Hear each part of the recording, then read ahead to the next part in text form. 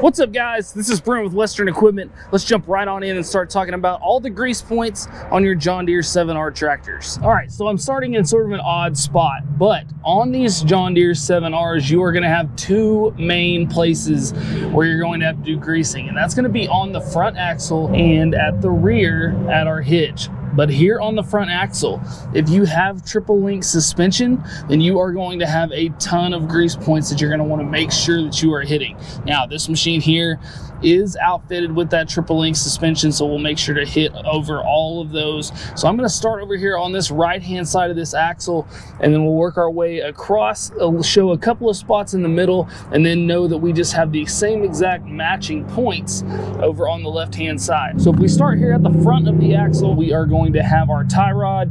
So we are going to have a grease point right here. Then if we move over, this is going to be the vertical part of our TLS or triple link suspension. So this is going to be the vertical suspension.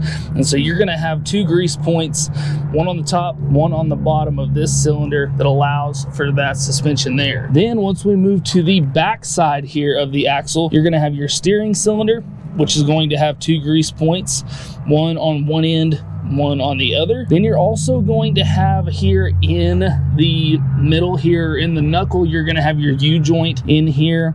We're gonna have grease points on this MFWD U-joint. Then we're also going to have a grease point right here at the top of our axle housing right here on the back side that is going to be for our MFWD kingpins. Now what makes this a triple link suspension is for one you have vertical right here. The other two pieces of this triple link suspension is you are going to have this long piece of the axle that runs back towards the middle of the tractor here. That is your second piece. And you're going to have this small linkage here in the front that runs across. It's going to have two grease points on it, one on this side, one on the other side. And this is going to be your third piece to that triple link suspension. Now here in our rear hitch is going to be really the only other point that we're going to have a bunch of these grease points and maintenance points. And just remember that the same thing at the front, whatever we have on the right hand side, we're also going to have on the left hand side. So First place that we're going to notice right away is going to be on our draft arms here. We are going to have a grease point here at the bottom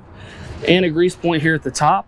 Then if we move just directly behind that, we're gonna have our lift cylinders. So here we're gonna have, once again, a grease point at the top and a grease point at the bottom. And if we move just right on further back from that lift cylinder top, we can see right through here, we're gonna have a grease point that's actually gonna be on our, what's called the rock shaft, which is the shaft here at the top that helps with the raising and lowering of this three-point hitch. So then whenever we move over to the left-hand side, once again, we're gonna have those same grease points. We're gonna have those here on the actual draft arm itself. We're gonna have those on the lift cylinder, top and bottom, one back behind on the rock shaft. And then last place that we need to not forget is that we are going to have grease points here on our center link, here at the top and at the bottom. Now, there are gonna be some exceptions. If you have some different style hitches back here at the rear rear, maybe some different wagon hitches, things like that. You may have a few more grease points that you need to check out. Now you may also have a front three point hookup on these tractors. And if so, then you're going to have grease points on those as well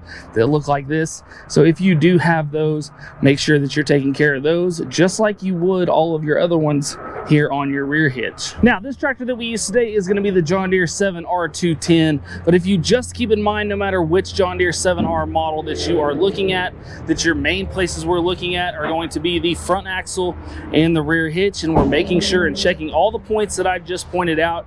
There should not be one that you should miss. So, I hope this video helped you out. I hope that you liked this video. If you did, we just ask you to hit that like button and subscribe to the channel. Also, guys, if you are looking for more videos like this or just more videos over John Deere equipment in general, make sure to go check out the rest of the channel. And as always, guys, thanks for watching. We'll see you next time. Hey, guys, make sure to check out this cool video and this one. Buy your parts right up here and subscribe right here.